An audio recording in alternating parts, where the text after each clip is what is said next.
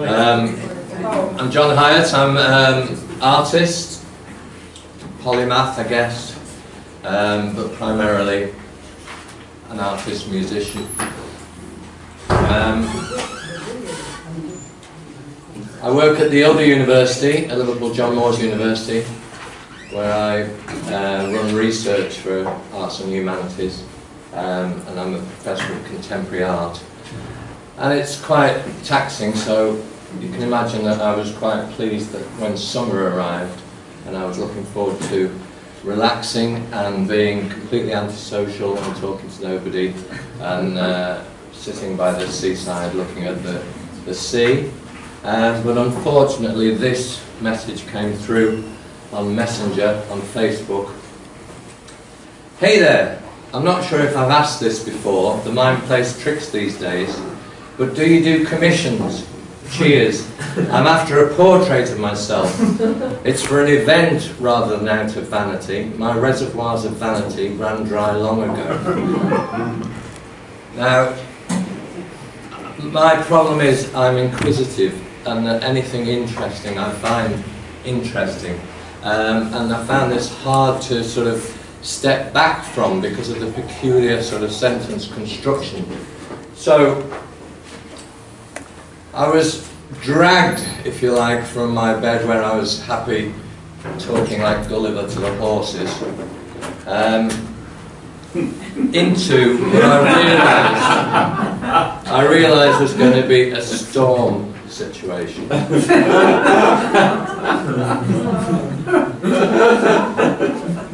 Trying to hide back under the bed didn't really work. Um, but I knew if I took this commission that I'd be out there on my own and that um, the problem with a commission is you often get flattened by it.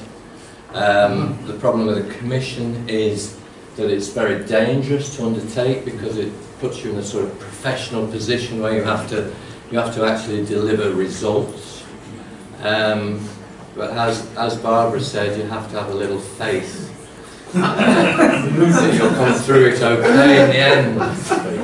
It's still one of the funniest things ever done. So I didn't jump straight in. I said, can I ask the use that you need to put it to? That might influence how I do it.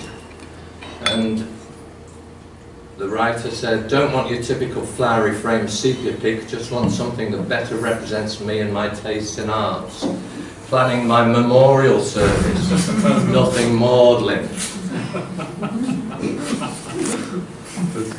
Made my will and power of attorney today could have been a morbid exercise, but actually quite cathartic. Many people don't get that time to stop and consider how they define themselves in life. Also draws a line under things. I can put it to one side and get on with living for now. Turns out to be general organ failure, sadly from a disease picked up volunteering in Fiji after Hurricane Winston, a disease that has a brake and accelerator. Excuse me. That's, that's going to keep happening probably. But no reverse. Bloody Ed Jerome. Hate it.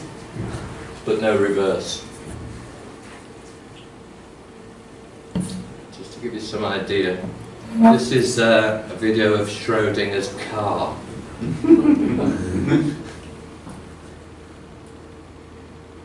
Where the police officer has to smash the window. I'm gonna. How can I get rid of this? Turn off the Wi-Fi off. Turn off the Wi-Fi. No, no. Give me a second.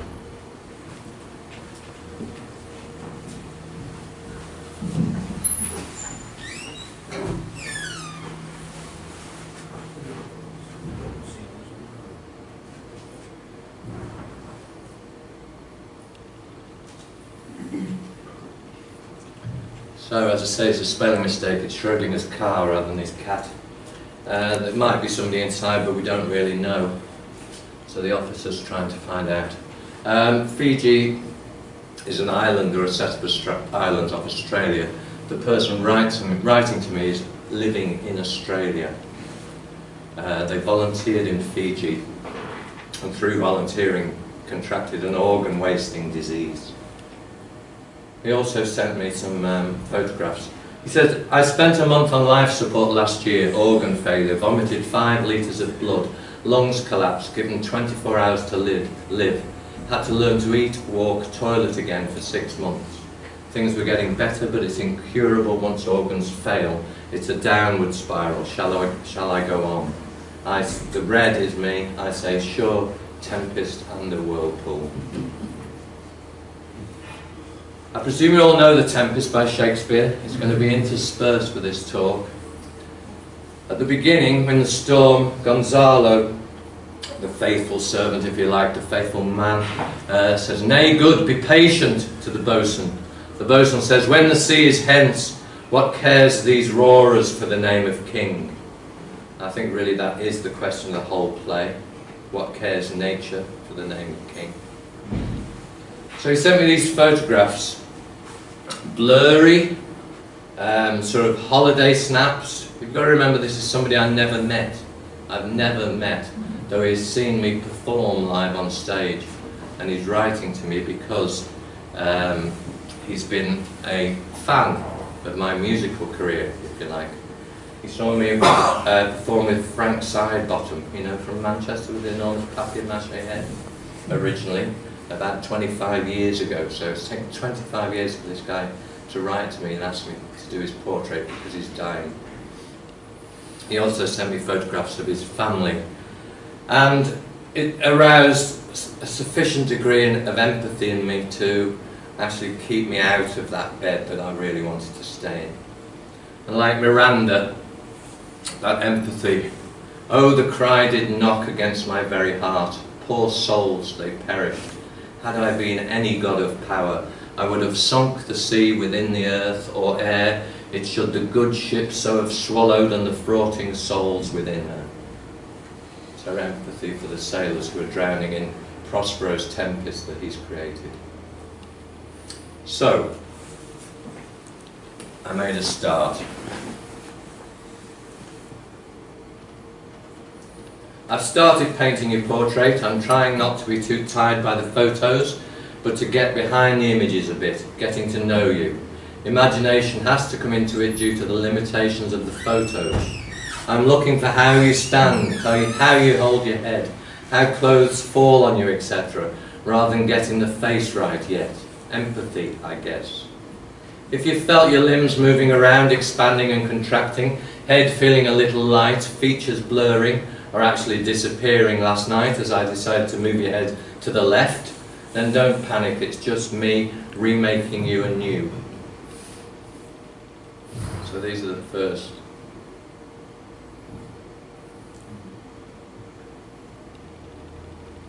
Trying to find him, if you like. He says, haha, all for a remake. The process in itself sounds fascinating. I guess with a subject on the other side of the world, there are certain challenges or perhaps freedoms and opportunities. I'm quietly anticipatory, definitely getting those reassembly symptoms, trying to catch my reflection in a broken mirror with my eyes closed. I say, have you ever visited a big aquarium?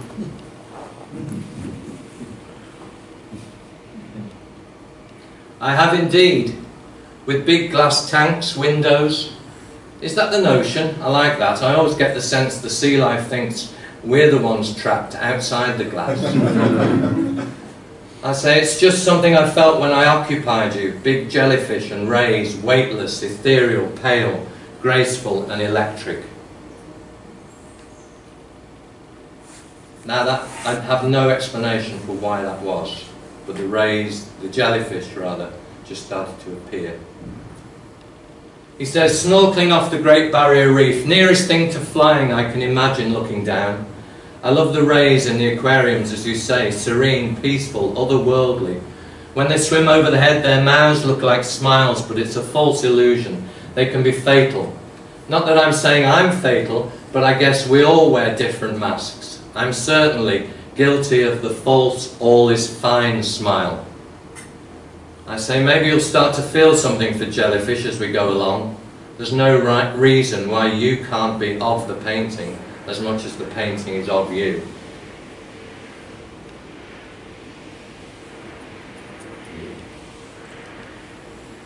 Interesting.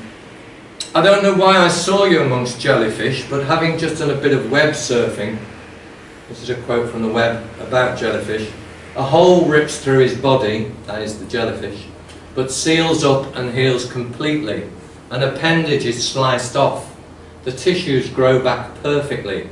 He's capable of extreme regeneration, perhaps even immortality. I like the infinity motif. I bequeathed my body what they can use to Canberra Medical School. You can tick the length of time, they can keep it. I quite liked ticking the infinity box.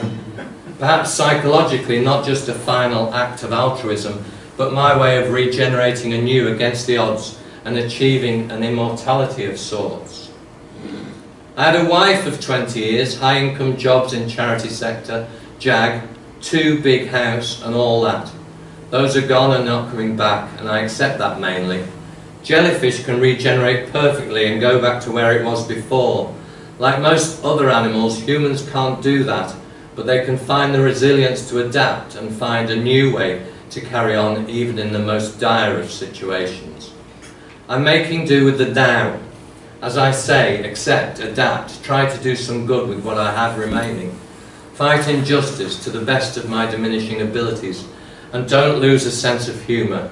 There you go, me in a nutshell.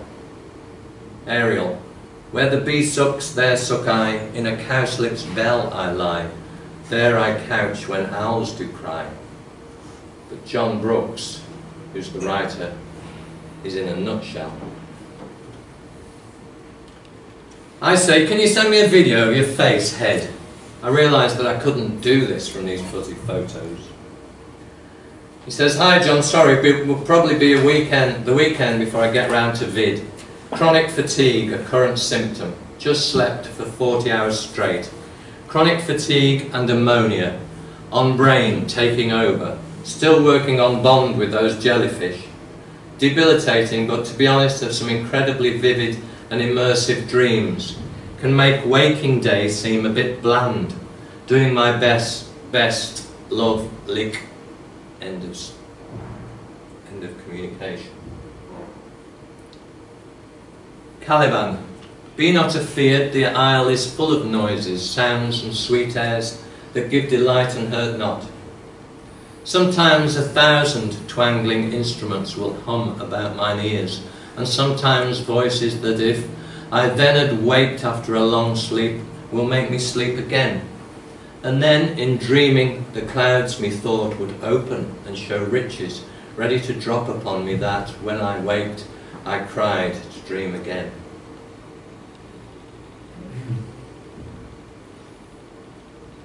So I'm forced to just keep developing the jellyfish side of things really. And realise that this is insufficient and I am supposed to be doing a portrait. That, that was interesting, the conversations we've had. I was thinking a lot about um, about the notion of what what's being portrayed and the notion of the difference between how you present yourself and how you others see you and how you see yourself, which can be different to how you present yourself. Um, obviously, a big part of it, as I tried to get across, was you know, there is a certain element of me which is the illness, but I don't want that to be defined. I'm not the illness, I'm John Brooks still. I just happen to have that illness. And I think that, again, facially, that's something that I see more, maybe because I've seen the changes it's made. Um, it's made other physical changes to me, but I won't be doing a nude pose. So I started to got new information about his face, about his voice, the sound of him, um, about his sense of humour. I won't be doing a nude, nude pose. Um, and all that information helps me to start to develop the portrait.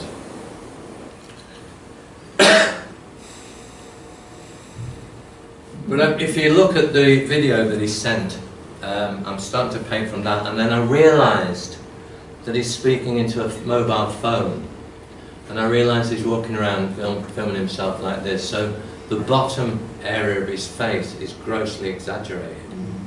Um, so I realised even this new information, I was, I was using it to create a different shaped face, but I realised it was not probably any more accurate than the blurry photographs from years before his illness. So the, the problem really is where is he and who is he and what does he actually look like because it, he changes through time and he changes through context.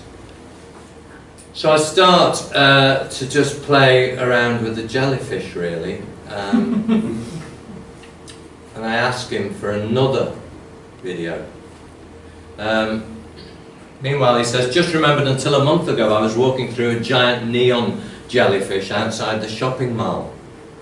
I say the moon jellyfish can age backward, form hordes of clones and regenerate lost body parts, a new study says.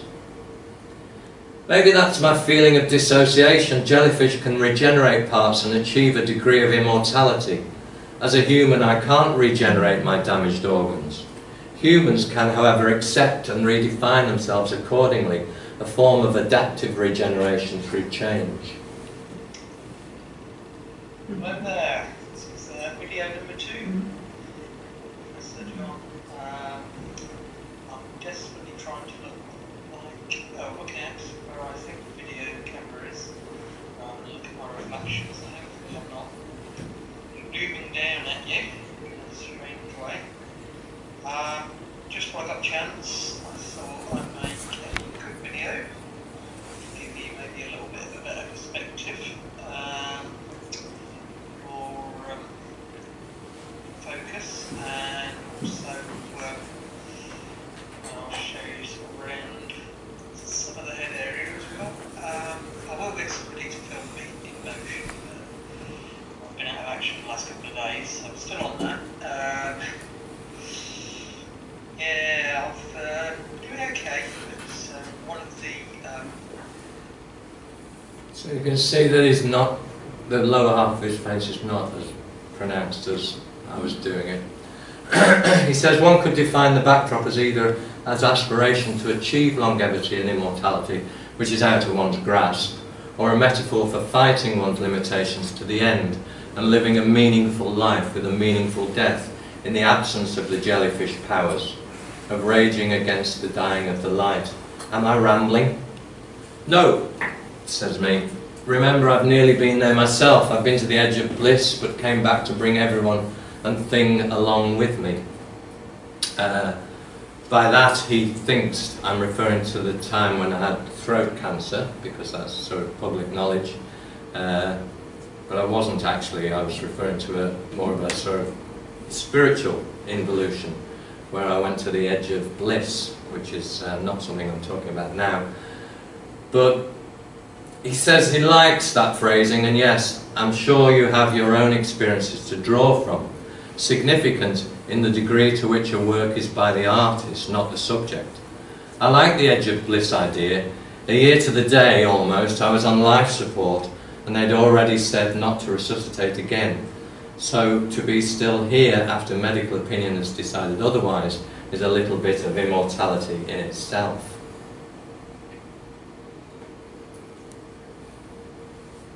Full fathom five thy father lies, of his bones are coral made. Those are pearls that were his eyes, nothing of him that doth fade, but doth suffer a sea change into something rich and strange.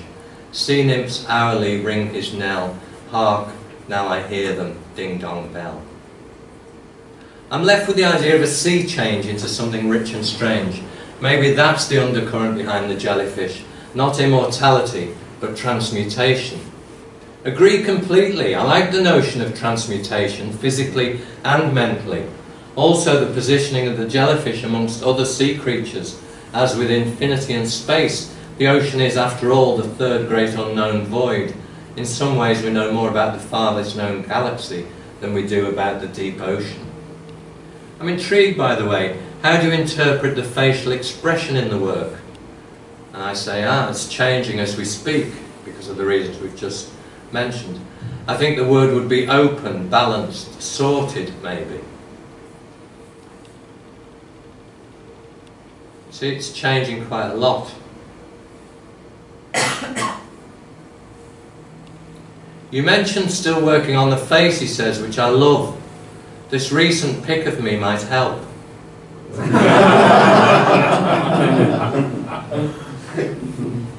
He's funny. The basic elements, that they're pretty similar, aren't they, really? Eyes, nose, and mouth. Yes. But they're especially getting similar because I started to change the earlier version of the painting based on the new information, the new front-on video.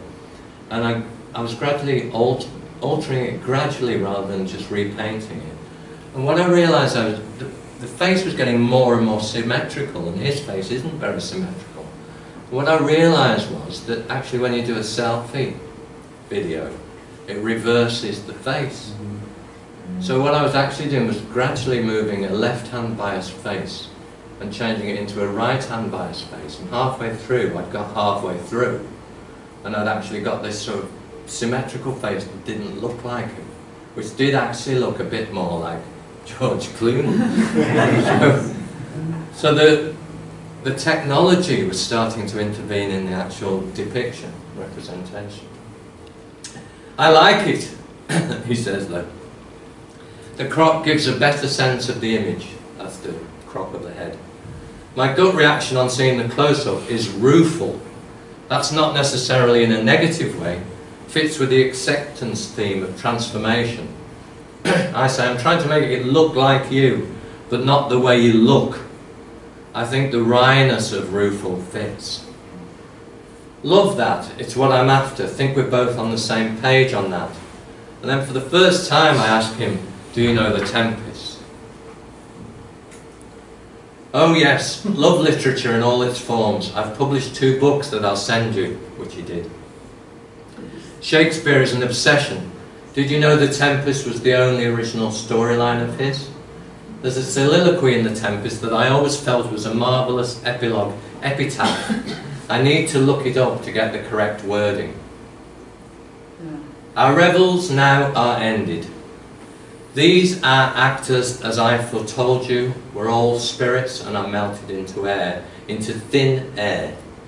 And, and, like the baseless fabric of this vision, the cloud-capped towers, the gorgeous palaces, the solemn temples, the great globe itself, yea, all which it inherit, shall dissolve and, like this insubstantial pageant faded, leave not a rack behind. We are such stuff as dreams are made of, and our little life is rounded with a sleep.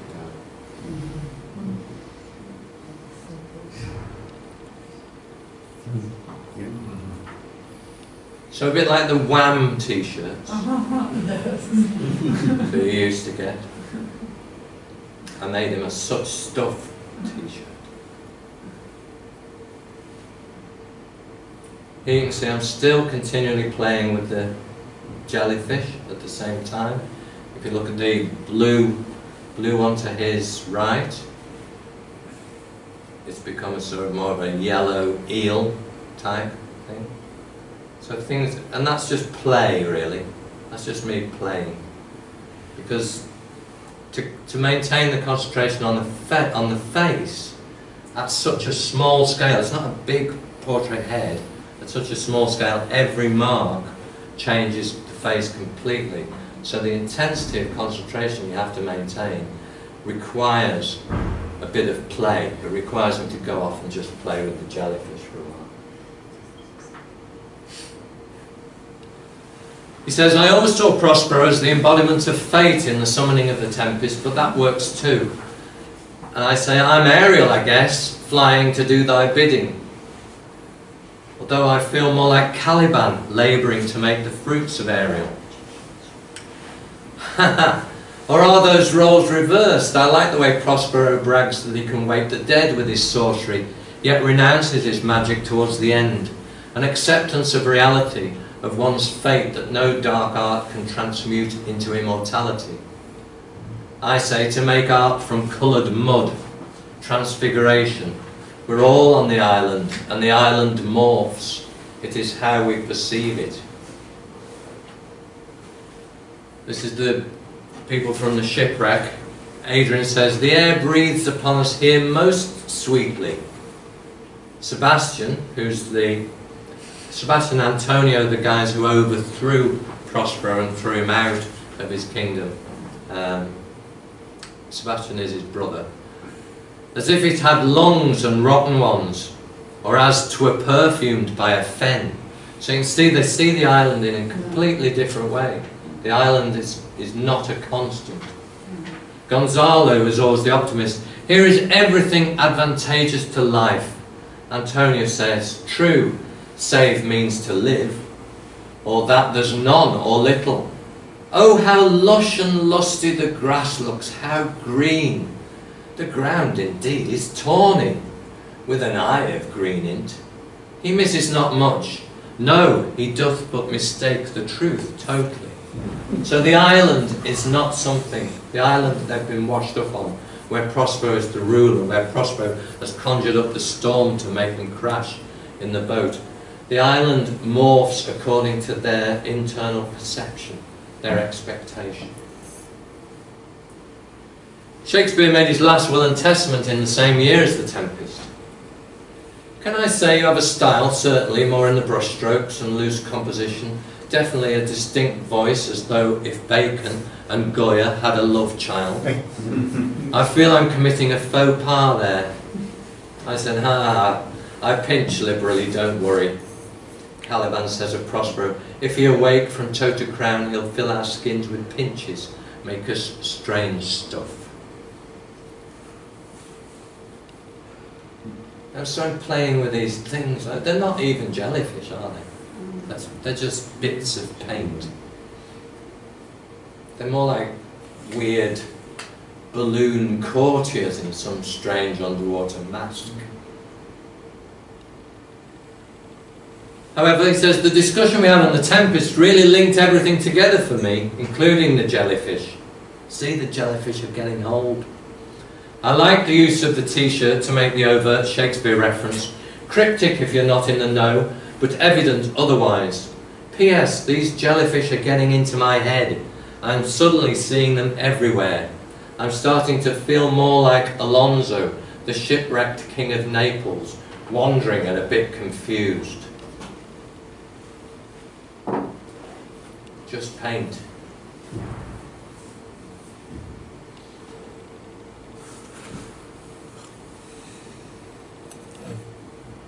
Please don't ask me what the head is with the open cranium and the sort of coral brain inside, because to this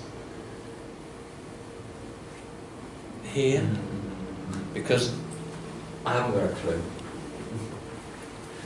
You can see the pearls that were his eyes have appeared in the painting behind his left leg, his left leg. There's also something that I don't think he's noticed. There's this sort of big monstrous form appearing behind him, a bit like Swamp Thing or something from from uh, the comics. Uh, I don't think he'd approve that because he doesn't want the background in any way to be sort of metaphorical for his disease. But um, I don't it's a painting is a feedback loop between the materials and me. And when the materials, uh, when the painting is going in a certain direction, I try to go with the flow rather than redirect it in another direction. So there are things that appear, and I have to, a bit like the building falling over Buster Keaton, I have to trust that in the end they'll be there for some sort of purpose. I don't actually have to rationalise that purpose at the moment of, of making it.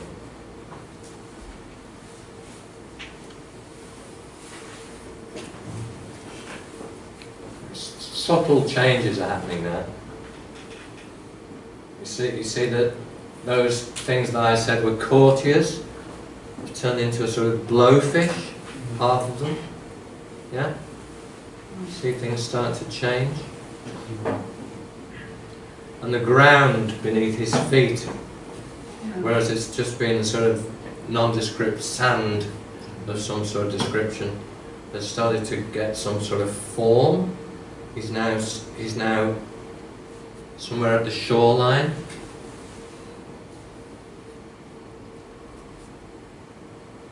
This is very small. This head. It's only.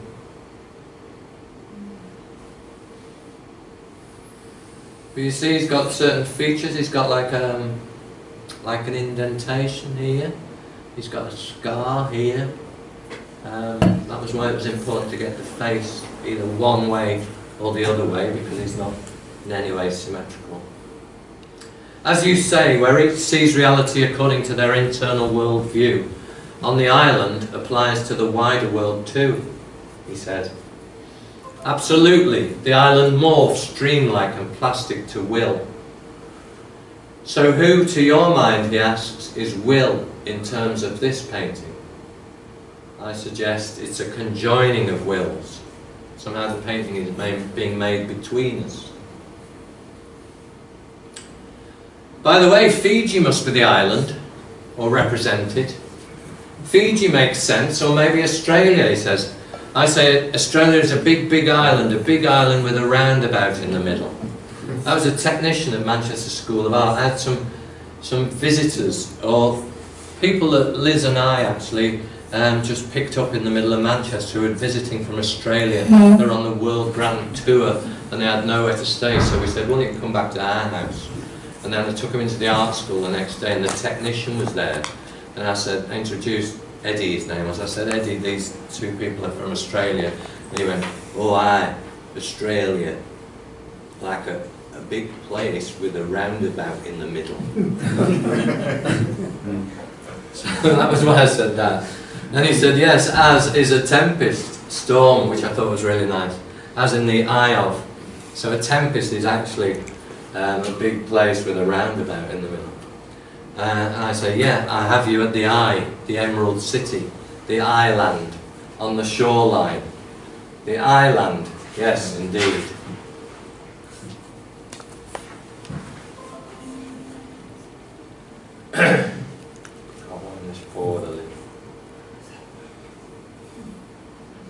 Why I say the Emerald City is because the Wizard of Oz is more or less the same story, isn't it?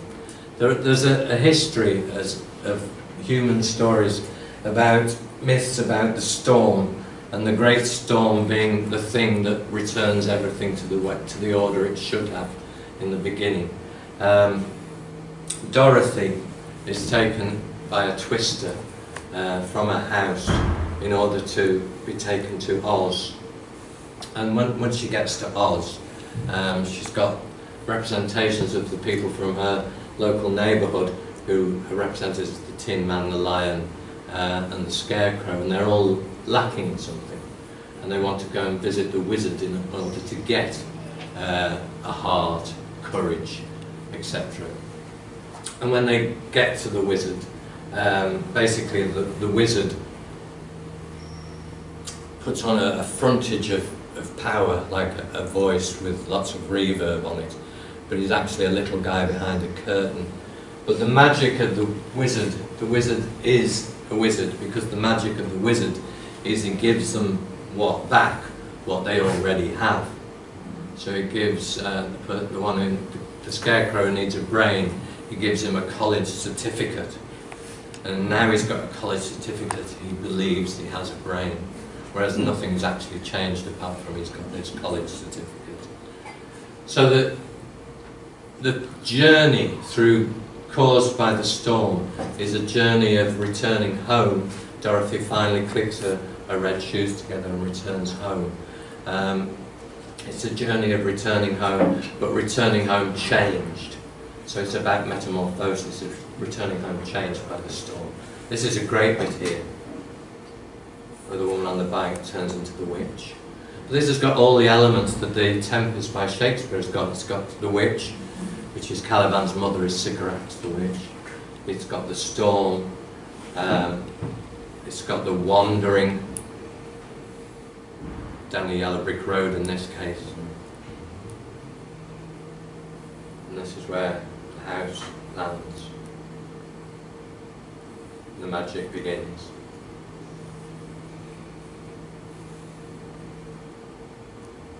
Ha ha ha!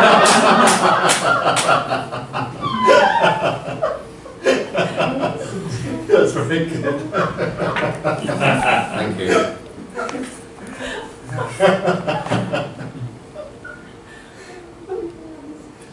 Yeah.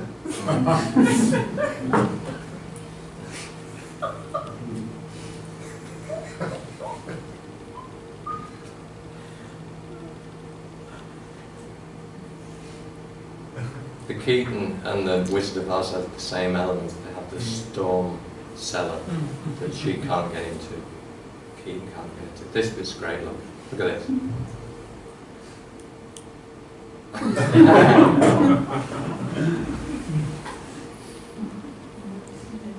well, good news, says John. Gastro went well today. No bleeding arteries. So my monthly sessions now yearly. Jellyfish. I think the painting deserved a little electric kiss.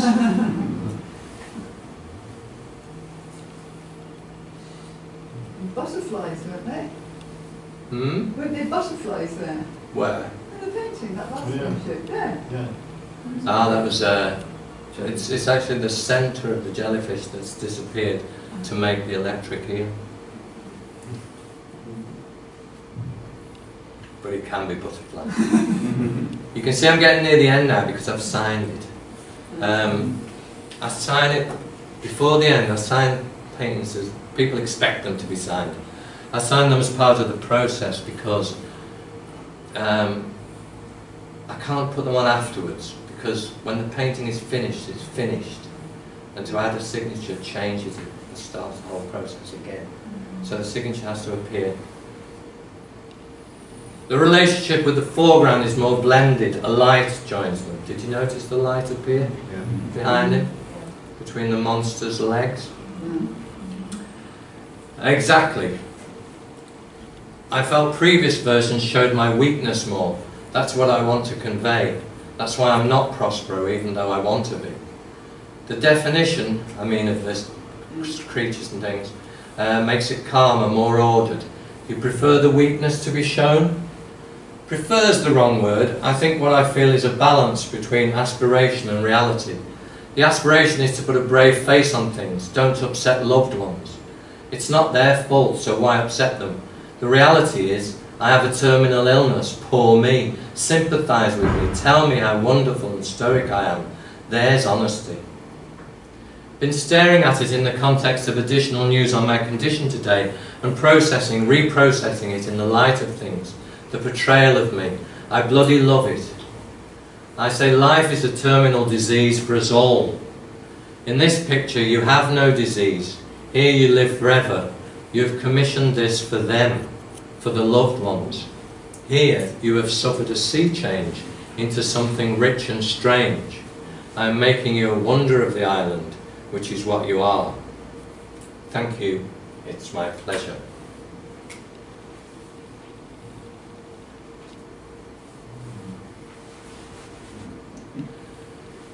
As a visual artist, he says, which he's not, he means if he was, I'd be interested in if in the act of creating an artwork is a journey for the artist, what drives his decision to stop the journey? Is there a sense of risking an unfinished work if one gets off too early, or going over a cliff if one goes too far? How does he know when he's arrived where he wants to be with a piece? The piece asks for nothing more to be done to it. This is my answer. You stand there with the brush in your hand and there is nothing to be done. Which is why the signature has to enter previously. Okay, I get that, but how does that dialogue between the piece and the artist articulate itself? The artist is but the conduit, surrendered.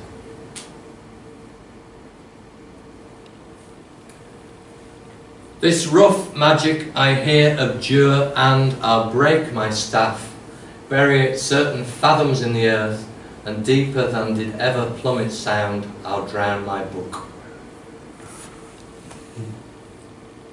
So at the end, I gave him his books, At the end, if you notice, I gave him his ray. The monster disappeared at the very end and became the ray. Okay, so that's the end of the painting. So who made this portrait? Roman Ingarden is a theorist and proposed a theory of concretization. Um, and in this theory, it's about writing, about literature. In this theory, the reader and the author collaborate to make the work. The author leaves gaps in the work, which the reader, in the process of reading, fills in. Um, so, in, in a very crude sense, say, say that you say uh, in a text you've got the word tree. A reader, the author might mean um, a certain type of tree, but the, the reader will bring in a tree from his experience or her experience to fill in that undescribed gap. So he might be thinking, the, the author might actually in his mind be thinking of an oak tree, but the reader fills it in with a willow tree. Um, so there are gaps in any work. And it was the same in art theory. Marcel Duchamp, who famous for the fountain, which was a toilet, a urinal called the fountain, um, in 1917 claimed that the, the viewer completes the artwork, that the artwork is not complete until the viewer um, brings the viewer's experience to the work. Whitehead, in Science and the Modern World in 1928, said the concrete is the acting and the abstract is that which acts. So the extension is that the reality resides in the act of experience or interaction of actors. So as we said in the previous talk, um, there's a difference between reality and actuality. Whitehead's claiming that actuality is the thing that exists and reality doesn't. So who made this portrait? The artist, the subject, and not forgetting the viewer, thanks to my wife, not forgetting also the history of painting, I couldn't have made it without the history of painting, a guy called Michael Harding, who was a painter at the Royal College of Art, who was di disgusted with the poverty of colour in Rowney and Winsor and Newton paints, so started to grind his own paints. Um, his paints were so good that his peer group asked him if he'd make paints for them. Eventually, he realised he was a better paint maker than he was a painter, so formed a company to sell paints, and those are the paints, the only paints that I use, because they're more colourful than other paints. Whoever weaved the canvas that I painted it on, Jenny Brooks, his mother, and his father for having him. I guess you could call that a big bang. his wife, his daughter, the disease, music, because he only got in touch with me because of music. Shakespeare, who was Shakespeare? Was he Edward de Vere? I think he probably must have been. Um, is Shakespeare a pseudonym? I think it probably is. Will, will, the idea of will. Shakespeare, the goddess Minerva, from which we get, from which the Latin mens, mind, comes, the goddess of um, creativity, wisdom, war, who carries a spear and also carries a, a lightning bolt. Uh, so she carries spear and lightning. Um, she shakes the spear.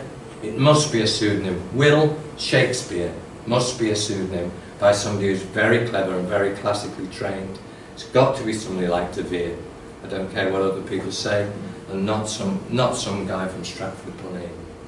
Buster Keaton, the movie technical crew, the film industry itself that brought it to us, another John Hyatt, who was the mayor of New York, who invented celluloid. he invented celluloid as a coating for billiard balls to stop to make them move to make them move more smoothly. L. Frank Baum, who wrote The Wizard of Oz, the inventors of the alphabet that allows me to communicate with John on the other side of the world. Apple, um, make the technology, the technical, financial, legal and operational aspects of the devices used, a service ecosystem that's involved there, labour arrangements, supply chains, designers of my iPhone in Cupertino, assembly lines in Shenzhen, in China, where they're made, with long hours, high rates of injury, toxic chemicals, low wages, high suicide, raw materials such as cobalt in the iPhone's lithium batteries, mined by hand in the Congo by children, tin in its soldered seams from the Indonesian island of Bangka, where the water table is irreparably fouled and coral reefs, are destroyed, streams polluted, children stillborn and cancers diagnosed, satellites of the GPS system, Maxwell for coming up with the equations that made all that possible, Newton, Leonardo for the scientific method, global and extraterrestrial networks, apes, fish, jellyfish, my lizard brain, single-cell organisms past and present, and those imbricated in the context of viewings, galleries, critics, universities, and now Hope you yourself. never win an Oscar. Unaccustomed as I am.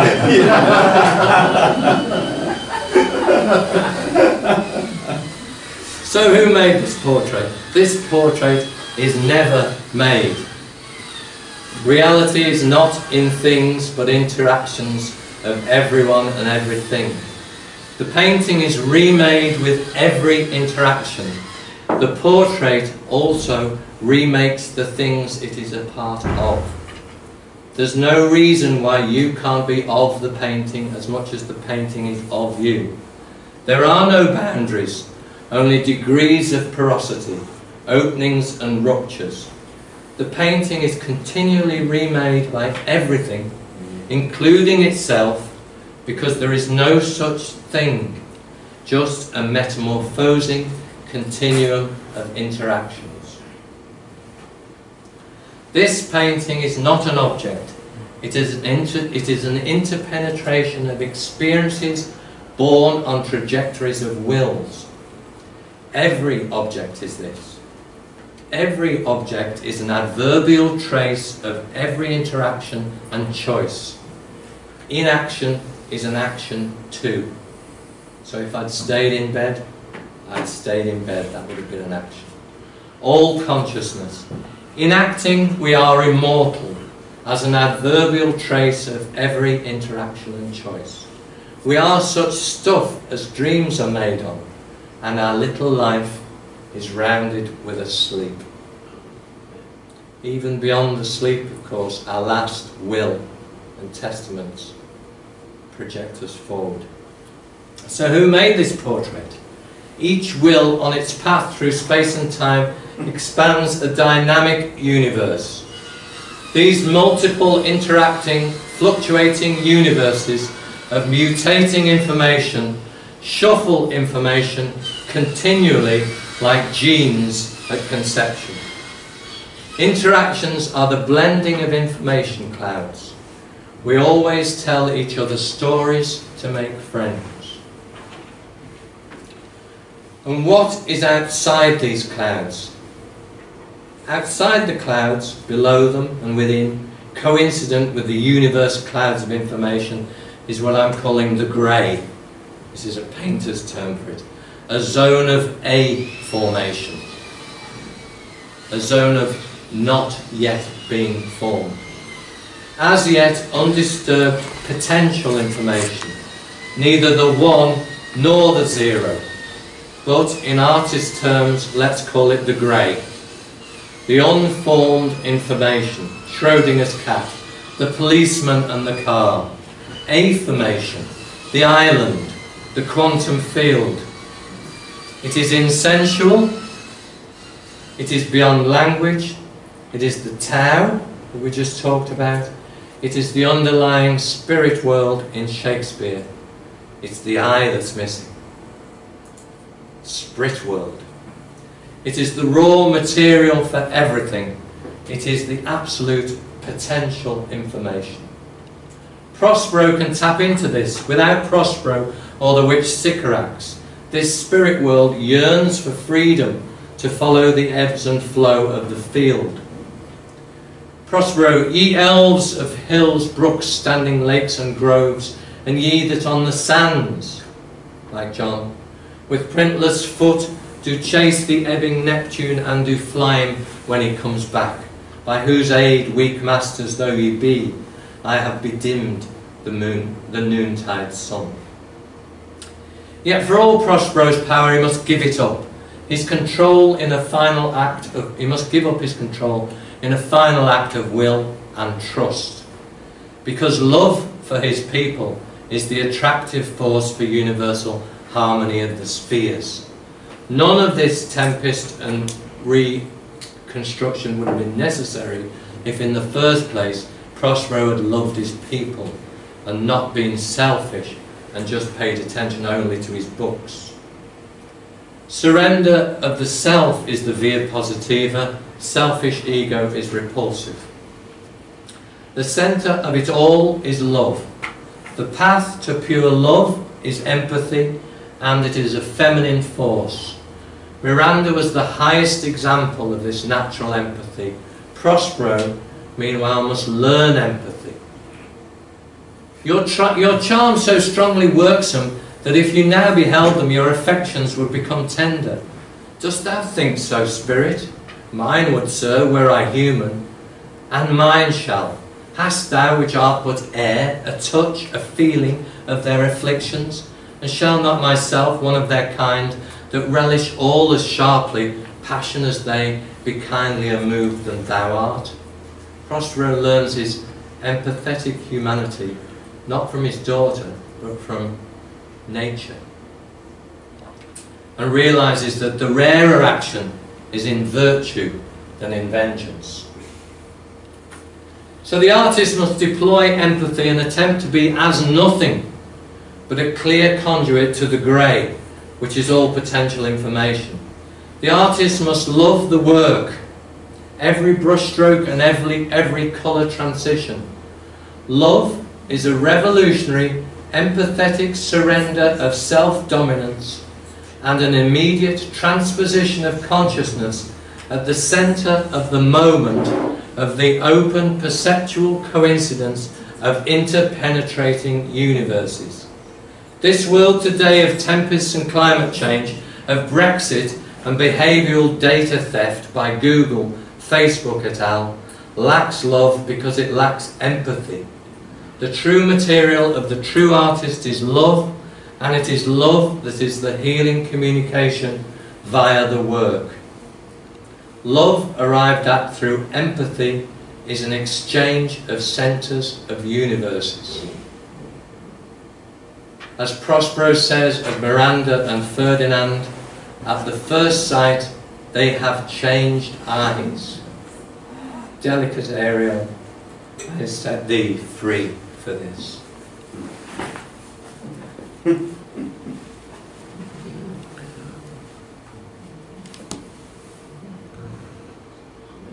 you.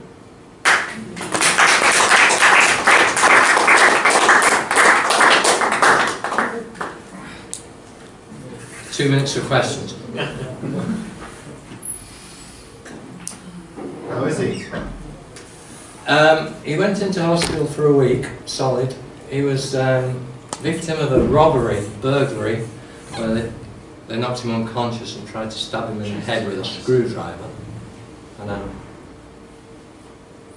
then his Facebook profile went offline and his messenger disappeared, so it was as though he'd died, which was a bit of a shock for me, um, for two days.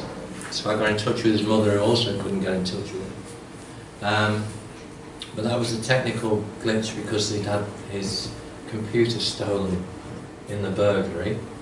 And now he's, today, uh, back on Facebook, out of hospital.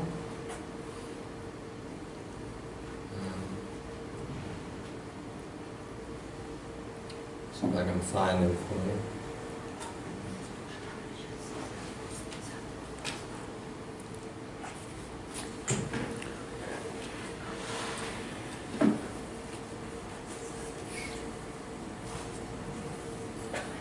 And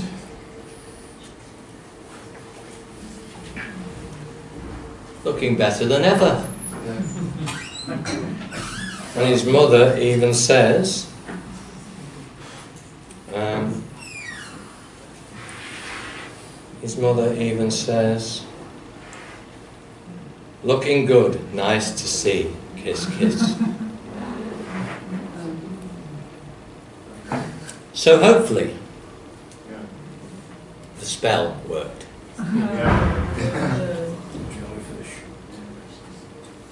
They are amazing. There's got to be a lot of work in looking at jellyfish. They are amazing. The, the more you look at them, people are starting to work with them now.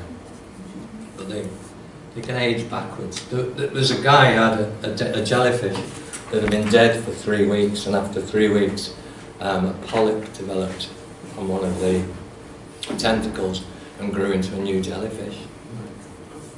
Amazing. So, I wish jellyfishness to you all. Thank you so much. Thank you.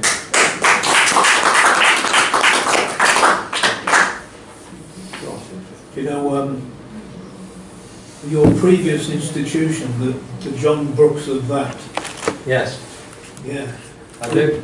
there was a sort of, was it a picture of him in the Brooks building? And I asked one of the staff I know from there, um, he lists a load of achievements like that. that.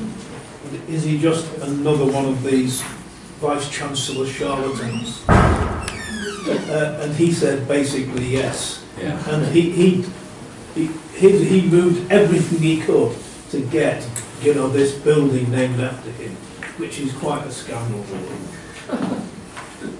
Well, we can rename it. Yeah. That's really Yeah, jellyfish Whatever his building. name is. Well, two weeks ago we went to John Brooks's 70th birthday down in his house. Oh, did you? He's a good friend, yeah. You, you like it? Yeah. Well, this guy didn't. I think the problem with being a vice chancellor is uh, you're not in it to be liked. are you? No. I always found him very fair, but then other people didn't. I would like to, Institutions are, are strange to I like to say, I always tell my students, the object is to shut the tutors up. Yeah. And I think you've done it. I thought it was very good. Thank you, Andrew. Shut up. If the, if the tutors have something to say when a, when a student presents a design, that's usually bad news because they just pick at the faults and sort of, oh, you've got this, think that. And when they're very talkative, that's usually doom. But if you shut them up, that's the only one. It's the opposite with the scientific. I think it is, you're right. actually. In art, it's, it's one of the differences in art approach, the science approach.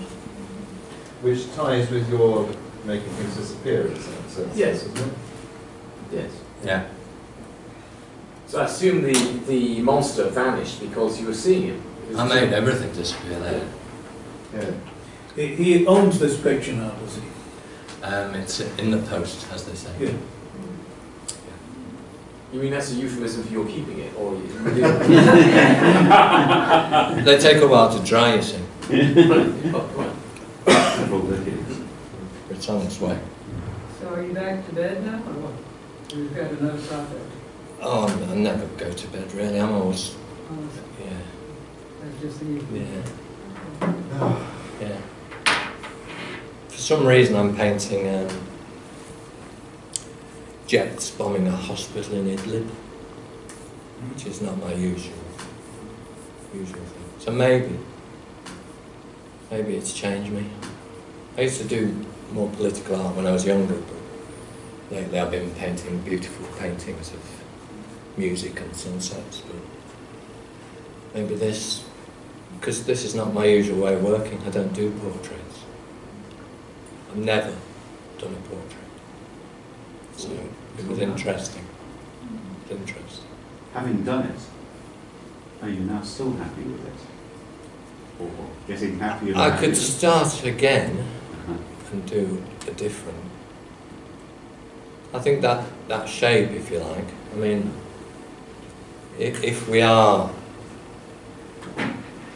if things are forms in time, you know, so the ba- the baby grows and then goes back, like Shakespeare's Seven Ages, Mhm. then I think it, the process of doing a painting has the same. It, it, it rounds itself with a sleep. And you either leave it or you can't go back to it. Shape of the jellyfish. Yeah. I mean, the, the jellyfish are just so great because the shape is actually, I mean, if you walk along a beach and watch the tide going out, uh, the shape of the jellyfish is made by the movement of the tide in the sand. You can see the shape of the jellyfish quite clearly. So they, they probably regenerate because they are more or less exactly formed by the environment within which they move. You know. Shapes of water. They are con- absolutely. Yeah. I mean, there's a whole whole range of other talks. Did you sense that you and him were connected in some way despite the... In the end, yeah. In the end, I, we'll be friends forever now. Or, Are you going to visit him? pardon? Are you going to visit him? Visiting? Yeah. Too far. Hmm. Not unless they invent matter transmitters. It's too far, Peter, for me. But yeah, I mean, I've been. I toyed with whether to do this talk because I've never done it before, obviously. I'll talk about the work that I've been doing with cymatics and vibrating sand, which is more to do with harmonics and resonances and, and form. But I've done that talk a few times and I just wanted to be a bit more risky for myself. I think weirdly, it completely fit, there is a theme emerging in this particular conference, and I think this absolutely fits, Yeah. um, which is extraordinary. I thought on the first day it wouldn't fit at all, Yeah, and that I was tempted to revert to the other talk. yeah. I think it was perfect. Thank you. I think it's Very pretty good. Good. I mean, we are very problematic anyway. Yeah, we're not just. Good job. Yeah. Yeah. Would you present this as a uh, artwork piece in the, at end of the museum? With with his permission or? I thought that it could actually make quite a nice little book. Yes, Yeah, the cover of the book, very book. With the story, with the story. With the story. Basically, the. Basically the slide. Yeah. I mean, it's unusual for me to do a talk where I read quite so much what's on the screen, but there was no way to get around it because I wanted the actual truthfulness of the Yeah. things that were said, you know. Normally I'd have a slide up and talk otherwise. Um, so, I think there's something really um, interesting about the structure of dialogue and how uh, older, like, let's say, texts of philosophy were, were communicated in dialogue mm, as well. mm, And I think that's something very, uh, yeah, it's nice to see that come, uh, come through again. Yeah. There's something really rich about dialogue as a way to move forward as, as, and, and Yeah. share a story or philosophy. yeah. I think it's about meaning, isn't it? Really, it's about where do we find meaning, or, and meaning some, exists somewhere hovering in a sort of lattice between us, rather than Many meanings. Yeah. yeah. Well, and va- value is also important, I think. I mean, I see the artist's job, if there is an artist's job, as as um, changing value systems, maybe. And I think we're seriously needed at the moment. I think that then the whole of science is also in itself an artist. Yeah. Yeah. I don't personally. I don't have. I don't have any boundaries between. I just think uh, there are things to find out, and there are ways to find things out with. You know, I mean, That's what we it's the same thing. It's all the same. I just gonna ask what I see, if you were to present, I think as, as a visual artist or video artist or what, if you, you were take, like he's doing it now, that would be presented, would you call this, um, such that the dreams are made of, or would you give a different title or? As a book, you mean? Or? No, I'm, s- I'm still looking, what you just presented, I, s- I- I would sit and, do, uh, if I would go to any artist, any uh, museum, art gallery, I would sit and watch this. Right. I- Oh, is it? It's so, ca- yeah, Oh, right. right. so I just wondered, this seems to be a perfect title. Yeah, yeah. To yeah. go, if that was presented, have you ever done any, any of your work been presented like this before? Um, Well, Along with the visual, I mean, with a, uh, uh, video and that type of thing? Mm, no. Because I thought it was perfect what you did. thanks. Only as me standing talking. I mean, I've, pre- I've, pre- I've presented videos Mhm. in galleries, but Okay. but they're not videos of. Actually, I have presented a video of me doing a lecture about how the brain works as an artwork. So yes, I have done that. It was half. It was half me talking. It was abstracted technically, so it was the line, a green and red line of me talking about how the brain worked, and then on the other side it was a split screen. The other side was um, a video of cymatic vibrating sand that was moving around. I did a lot of work where I extrapolated a, a extrapolated a natural form from watching how sand moves under vibration, and then used the natural form to make three-dimensional um, uh, printed out sculptures, so digital sculptures. And I also used it to make paintings, and I also used it to make um, videos. It's basically the shape of kneading dough. It's a stretching and folding. It's taking the centre to the middle. So as a as a highfalutin universal form, it would it would say that the the whole of actuality is itself passing through its own centre continually. So the, the, the tree has an acorn, has a tree, has an acorn. And we see it everywhere. Sorry. Uh, were you talking about the cla- Chladni plates, uh, the the Yeah, shapes that you saw, and then the Chladni, the Chladni plates are symmetrical. right? The work I was doing was asymmetrical. But uh, doesn't it isn't it a function of the plate itself and the shape of the plate? Because most of the plates are s- squares, or they have so then you get quincuncial sort of Yeah, things. But then some of them I've seen are circular plates as well, right? yeah. So what kind of shape of plate did you use, or? I was using a large planar surface that, Uh-huh. that was uneven Uh-huh. to create an asymmetrical. Uh, what it creates is a system of forms. Uh-huh. I can show you the video. A system of forms um, that are reminiscent of organs in the body, if you like. Um, but the sand moves from one to the other in a laminate structure based upon its uh, size. Mhm. So heavier sand moves slower, Mhm. but they all follow a certain rule. And a pile of vibrating sand is basically a, a grain of sand goes up through the middle of the pile of sand, comes out at the top, spirals down almost to the bottom, then reverses upon itself, spirals the other way, spirals into the centre of the pile of sand, and then back out. So what you've got is a, a double helix, double spiral that I used to create. Do you have a video where you can follow that path? Yeah. I've got a whole talk that I could have done today. Wow. Yes, uh, that is well. But on the theme that John brought up about this presentation as art, and about videos as art, Roger's been videoing all our presentations, and nowadays data is cheap. Could we put this whole ANPA conference up on, let's say, Vimeo, for example, where it can be hosted for nothing?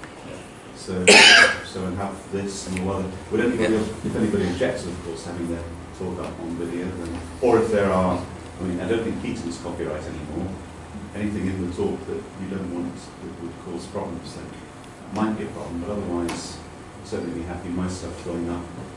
And anybody else, would that be something we could do? John's given his permission for anything to be used. Good. Yeah, they'd only be the Wizard of Oz, maybe. Well, they can use their AI, they can see it. like, you see. Thinner, thinner.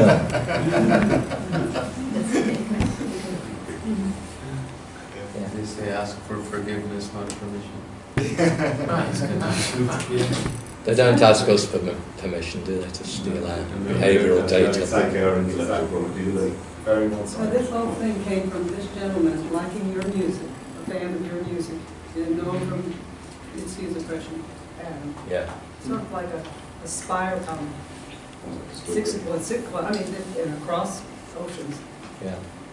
to come up with this and, uh, it's a very, um, tough, I hate to use the word. It seems that the connection, the music was the connection from, well, we talked about music yesterday. There's a connection that uh, just, Yeah. it's not mystical or anything, it's just, No. you don't know who you touch.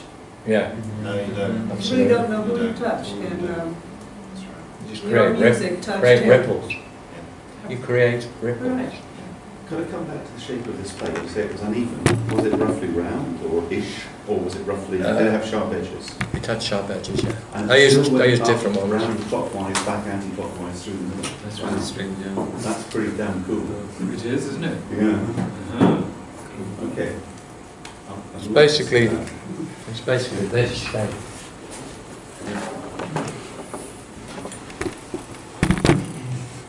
You need a coffee table book for cymatics. It's basically that shape. Yeah, but then, but, but vertical, so backwards on itself through spirals in both directions. Yeah, so it's not, it's not planar. Yeah, that's it. Yeah, it's a double loop, yeah. I did a- I did double a- double loop. A whole series of paintings double loop. where I only used One that brush top of the other, reversed. So I just did that brush mark millions of times for a painting and allowed the painting to emerge from the re- at different scalar levels. Can I see- So I do it Have you big. got that on you? They're all on the, on the laptop. May I have a look, please? Best I can see that. It's lots. And then um, getting smaller and smaller and smaller. And eventually the painting emerges from. Well, if I see something start to emerge, like a child, I'll paint it in, Yeah, you know, go with it. yeah. So, you- so you see the monster when it appears. Can I suggest we maybe go something?